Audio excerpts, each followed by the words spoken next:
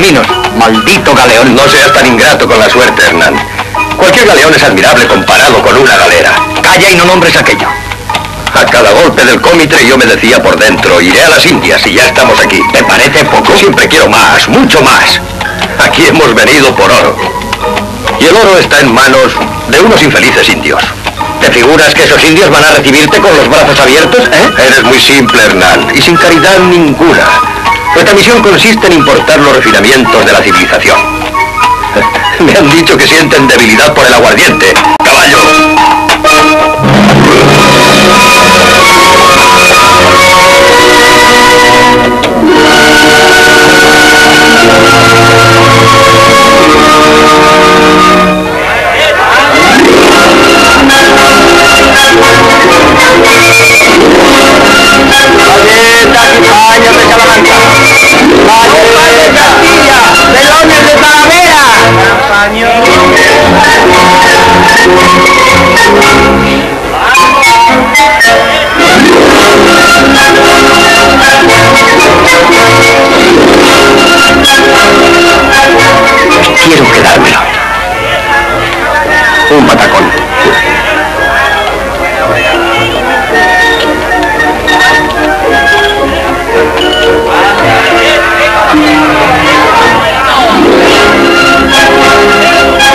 Aquí está la riqueza y nos espera el triunfo. ¿Qué nos queda después de pagar el caballo? Nos queda todo esto. ¿Y en quién confías? En mí mismo.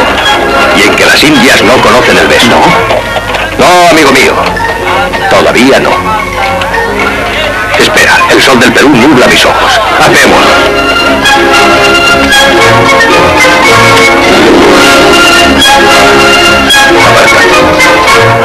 Soy vuestro más humilde servidor. No se confundían quienes decían que los verdaderos tesoros del Perú habían venido de España. A ti me debo esa merced y no hagáis desprecio a un rendido caballero. Dejadme en paz, llevo prisa. Pues pronto volveréis a saber de don Gil de Cepeda. ¿Cuánto tarda, Rosa? Con el hombre que tengo. Hijos, un poco de paciencia.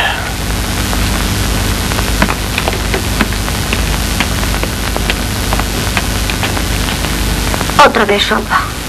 ¿Qué ha dicho el pagador? Por más que le ha rogado, ha sido imposible obtener nada de él. Se ha negado a anticipar a tu padre los 200 pesos que nos hacían falta. No sé lo que vamos a hacer. Los gastos son cada día mayores. Nunca me he preocupado tanto como ahora el día de mañana. Hay que sacar más provecho del jardín, buscar nuevos compradores, tal vez pensar en algo más. Dios proveerá. El Evangelio de hoy dice, mirad las aves del cielo, que ni siembran ni siegan, y Dios las alimenta. ¿No valéis vosotros mucho más que ellas? Bendice yo. Bendice, Señor, estos alimentos que vamos a tomar para que nos fortalezcan en vuestro santo servicio. Amén.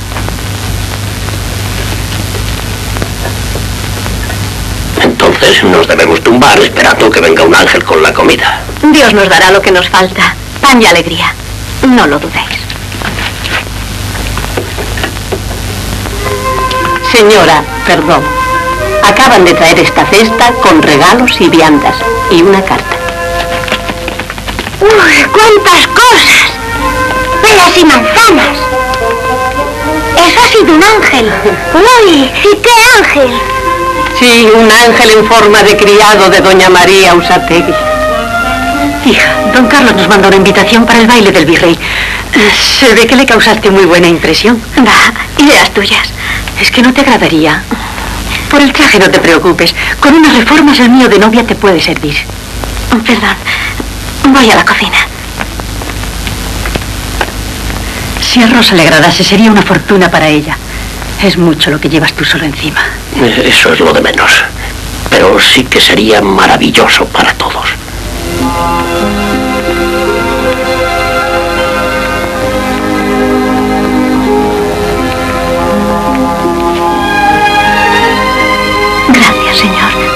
Nuevo milagro de tu bondad con nosotros. Temo que alguien quiera interponerse entre los dos. Si esta es tu primera prueba, bienvenida sea. Ven, acércate. Para ti traigo un regalo precioso. El regalo más bonito del mundo. ¿Qué es, Dimas?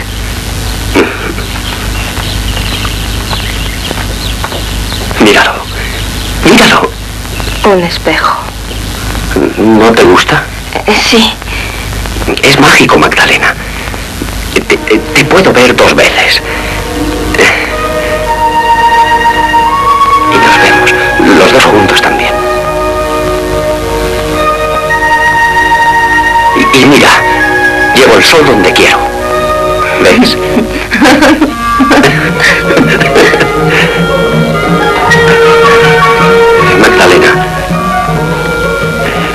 voy hacerte una pregunta. ¿Tú sabes cómo es la semilla de los besos?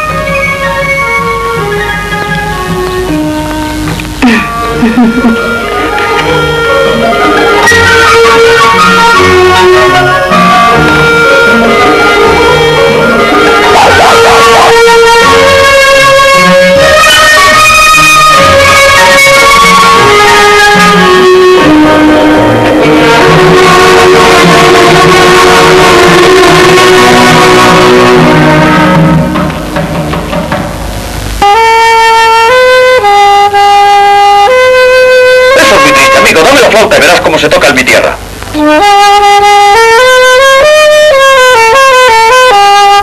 El día que yo me embarque, llevo una bota conmigo. El día que yo me embarque, llevo una bota conmigo. Y en vez de marearme el agua, me marearé con el vino, vino, me marearé con el vino, vino, me marearé de una vez. Y el armamento... Con mil pesos será suficiente. Deberías darte cuenta que estamos embarrancados y con la bodega vacía. Pronto subirá la marea y llevaremos anclas. ¿De qué forma? La fiesta del virrey reunirá lo mejor de Lima. Iremos a esa fiesta. Hay que codearse con la gente importante. Iremos bien vestidos como corresponde a los Cepeda de Salamanca. El virrey nos dará licencia para traficar con los indios. Y como prácticamente ya la tenemos, vamos a repasar nuevamente la lista de lo que necesitamos por si se nos olvida algo. Bah, lo único que falta es dinero. Hombre, tres... Bueno, ¿cuándo piensan pagar? Oh, muy pronto, paloma mía, no tengas apuro. Estoy esperando el galeón de España, ya te lo he dicho. Y ya verás, te compraré un corpiño precioso que hará más esbelta tu figura. No estoy para bromas. Ya nos deben cinco días. O pagan o se acabó. oh, eso no, no, el vino no. Déjame. Ya estoy harto de tunantes y fanfarrones. Pero hombre, a la calle, suelta ya.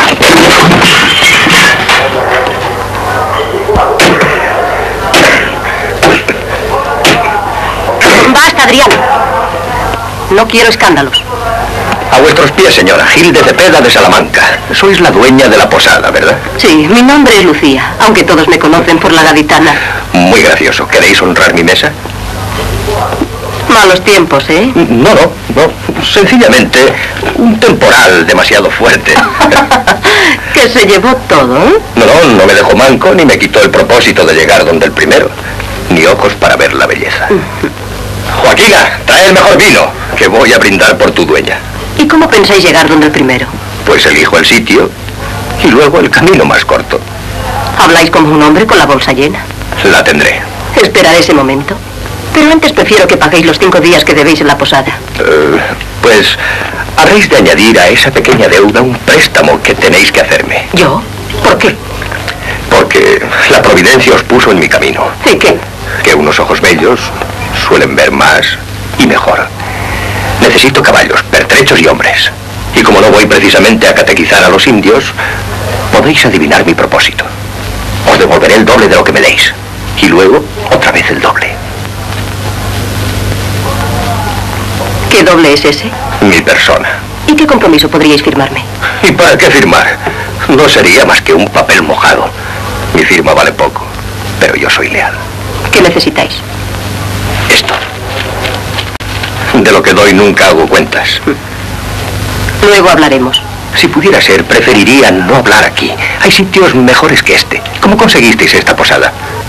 La heredé de un hombre que se entrampó en el juego. Pero del negocio se ocupan esos. ¿Da mucho?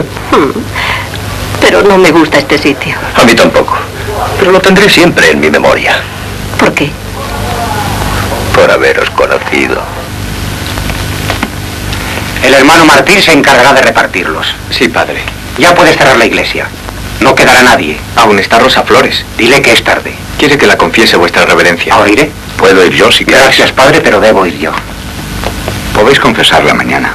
Cuando alguien pide confesión, debemos atenderle enseguida. No sé, pero me preocupa esta chica.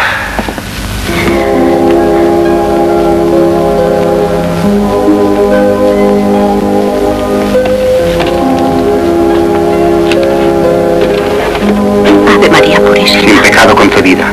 Buenos días, Rosa. Dime lo que deseas. Hace días hice voto de servir a Jesús, de pertenecerle solo a Él. ¿Te das cuenta de la importancia de esa promesa?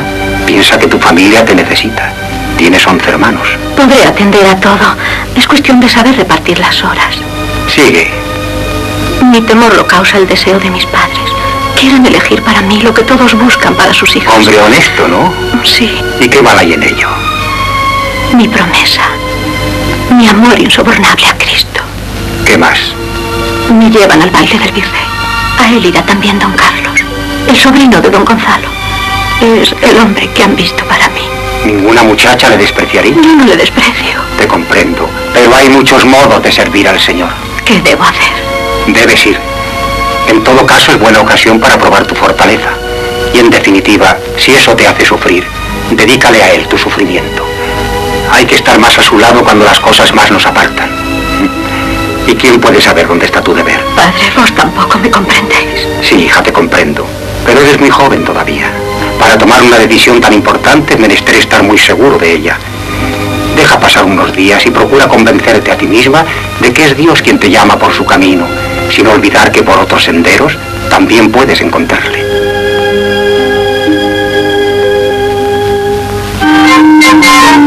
Bien,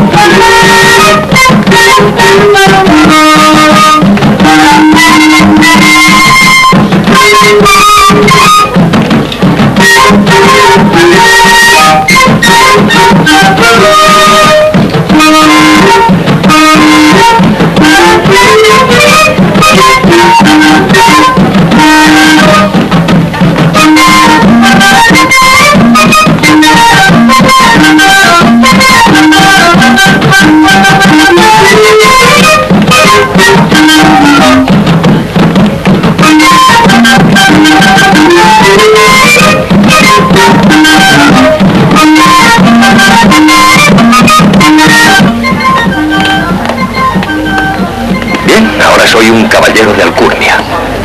Eres mi escudero y debes portarte como tal. No se te olvide. Toma esta bolsa y empiece la farsa.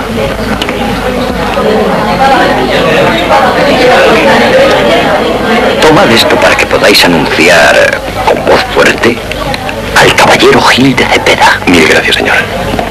Don Gil de Cepeda.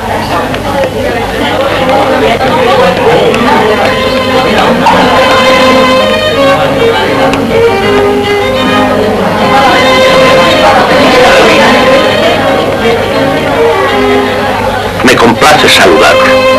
Conocí a un Cepeda en mi juventud. Bravo soldado.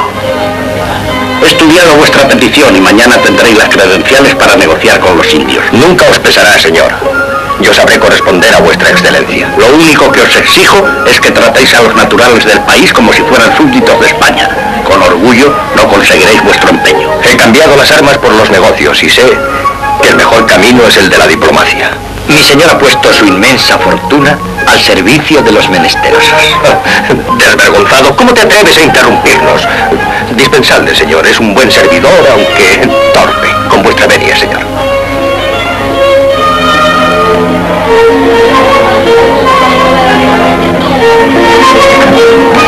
Las mejores joyas están en vuestros ojos y la mejor flor en vuestros labios.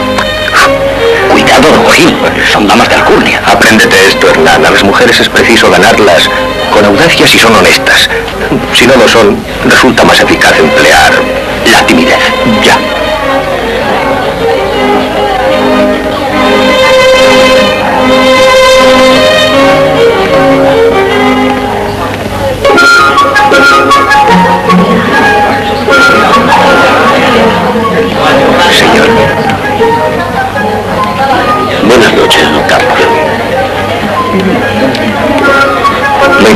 Vuestra tardanza y yo empezaba a aburrirme.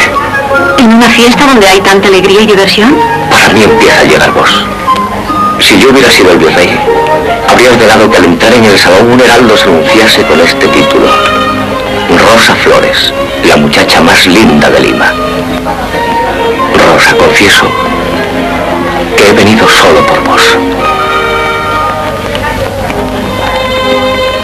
Nuestro sobrino está muy interesado por su hija. Mejor dicho, muy enamorado. Ya les hemos dicho cuál es su deseo. Me abruma y me honran esas palabras. A mi mujer y a mí nos satisface, hay que negarlo. Pero es Rosa la que debe decidir. Claro. Naturalmente. Es que lamento no ser poeta ¿Por qué? para deciros lo que siento. Todo el que habla con el corazón no es. Entonces es posible que surja en mí un gran poeta. No es solo vuestra belleza lo que me atrae. El primer día que os vi me dije, he aquí una muchacha con verdadera paz en el alma. Me equivoco. No estoy segura. Por las mañanas abro el balcón, miro el paisaje y me digo, Dios lo ha creado para mí, para que disfrute de él. Al anochecer, en cambio, pienso si he hecho algo importante para merecerlo al día siguiente. ¿Veis cómo no hay tanta paz? Esa inquietud me agrada aún más. Yo, la verdad, traía muchas cosas para deciroslas y ahora a vuestro lado solo se me ocurre esta pregunta. ¿Qué creéis que es lo más importante de todo? Amar. Sí, yo también lo creo. Cuando se ama se siente uno capaz de, no sé, de conquistar un imperio y conformarse luego con un palmo de tierra si está allí la persona que se ama. El amor hace inútil todo lo demás. Y da alegría. Y felicidad. Sí, es cierto. Y no importa la pobreza ni el sacrificio. El amor da el mejor destino a nuestras manos. Tenderlas a los necesitados. Yo no hablo de ese amor. Hablo del amor del hombre y de la mujer. Del que podía haber entre nosotros. El otro es demasiado para mí. Nunca es demasiado el amor. Como nunca es demasiada la bondad. Para mí es suficiente el que siento por vos. Don Carlos, yo no puedo querer así. Dejadme. Os lo ruego. Estas fiestas son demasiado ceremoniosas, aunque a veces hay algo que interesa. Las credenciales para comerciar con los... Y esa preciosa muchacha, por ejemplo, va para monja. ¿Me concedéis el honor de este baile? ¿Y bien? Lo siento, pero no puedo. ¿Quién os lo impide? Una promesa. Perdón, eso es como si las flores hicieran la de no perfumar el aire. Por favor, no podéis despreciarme ante la buena sociedad.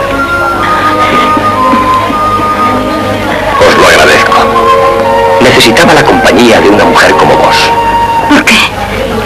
Las que he tratado hasta ahora eran muy distintas y a juzgar por lo que he oído, vos podríais inspirarme una conducta mejor e incluso hacerme pensar un poco en el más allá.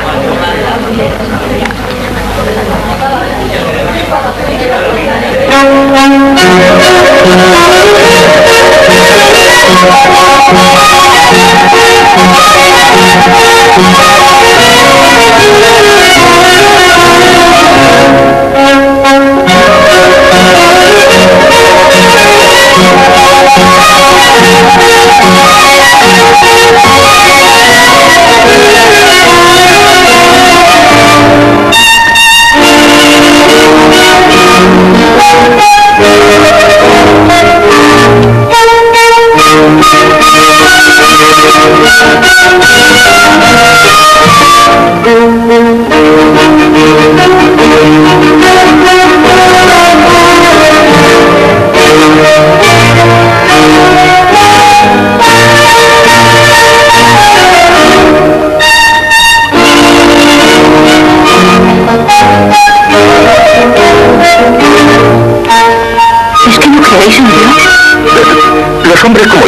Dios como ese puerto distante al que queremos llegar.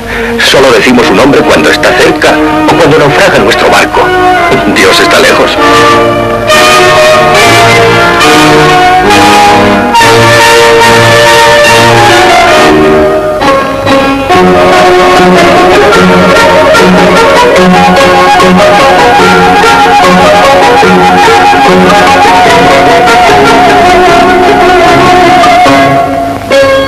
Tengo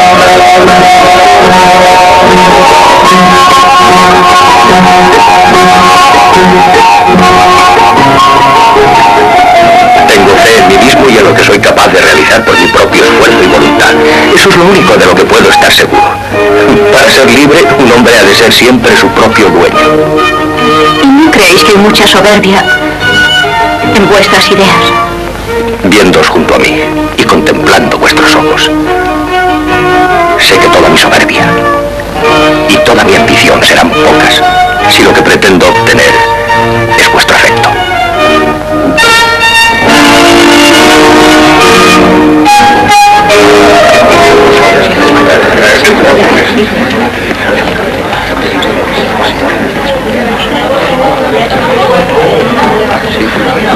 ¿Qué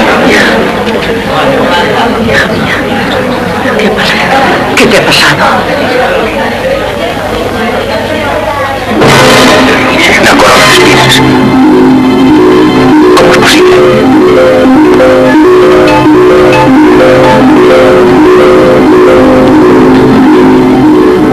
Rosa.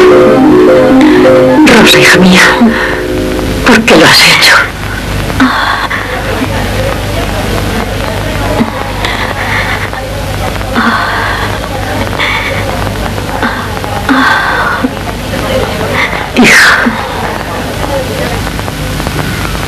¿Te has dado cuenta de lo que has hecho? Mañana hablarán de nosotros en toda Lima. Dirán que estás loca. el amor y la locura se necesitan, padre. Y para demostrar tu cariño hacia Jesús, tienes que ponerte una corona de espinas en la frente. Quiero compartir sus sufrimientos y con mi dolor compartir el suyo. Todo eso es muy bonito y puede hacerte muy feliz. Pero a mí me disgusta. Te queremos de una manera más sencilla. Como las jóvenes de tu edad, no te halaga la idea de que don Carlos quiera hacerte su esposa. ¿Su esposa, yo? A tu madre y a mí nos ha parecido un gran honor. Y lo necesitamos, Rosa. No puedo ocultarte que nuestra situación es sencillamente desesperada. Yo vivo muy contenta con ese amor que no comprendéis y que me lleva a socorrer a los que piden consuelo. ¿No soy mejor así? Creo que debes pensar en lo que te hemos dicho. Tiene razón tu padre. Obedécele. No puedo soportar verte con estas heridas. Prométeme que no volverás a hacerlo. Dejadme descansar ahora. Lo necesito. Sí, hija. María, habrá que avisar al doctor. No me gustan nada estas heridas. Sí. Jim tiene señales de heridas en la frente. No es posible. Sí.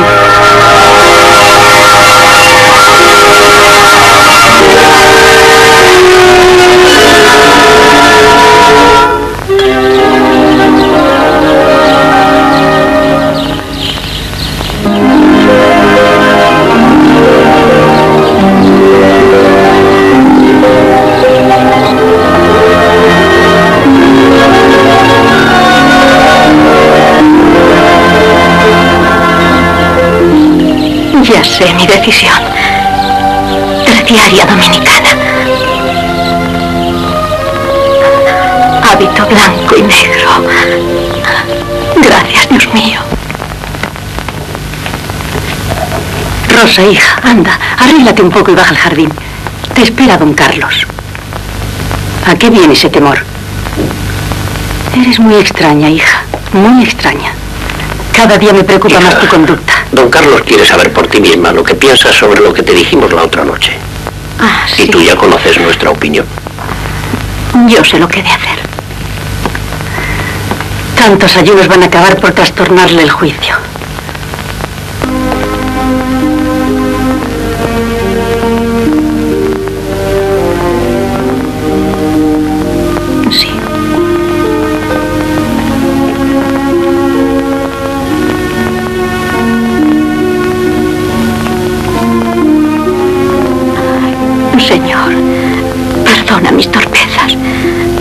Estar más alegre y más segura aún por esta prueba que me pides.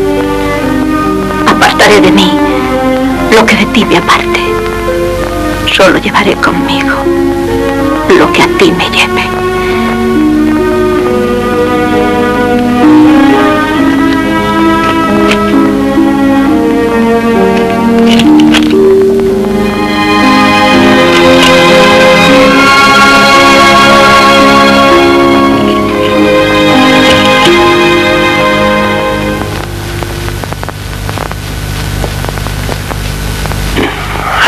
¿Has pensado que tus sacrificios tienen mucho de egoísmo? Nada te importamos nosotros, ni tus hermanos.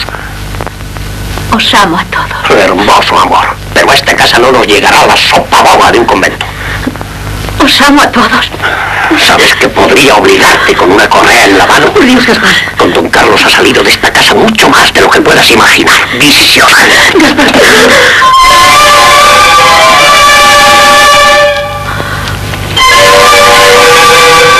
qué lloras, mujer?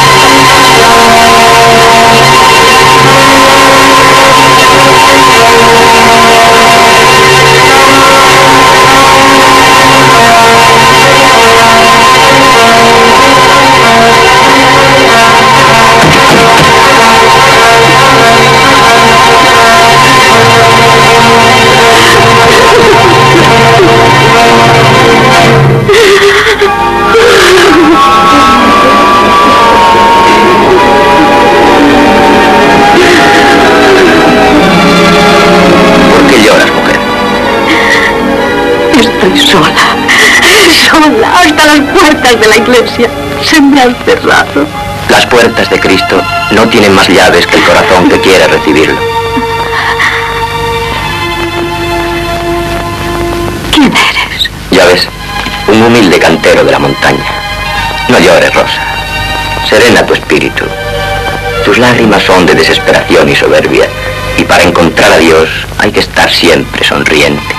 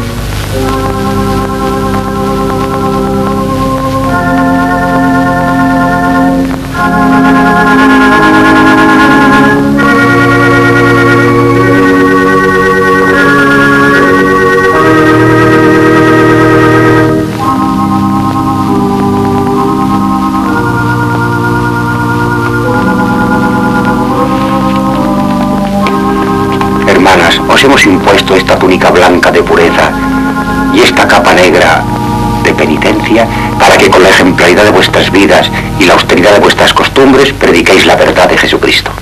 Desde este momento pertenecéis a la Orden Tercera de Penitencia de Santo Domingo. Participaréis en todos los beneficios espirituales de la misma. Regresad a vuestras casas, vivid en el seno de vuestras familias y llevad a donde fuereis el espíritu de la verdad y la bondad de nuestro Señor. In nomine Patris, et Filii, et Spiritus Sancti. Al fin, mi linda gaditana. Ven aquí. Ahí tienes las cuentas bien claras. Esto es lo que te corresponde de la primera expedición, ¿ves? He cumplido mi palabra. ¿Cuándo me vas a llevar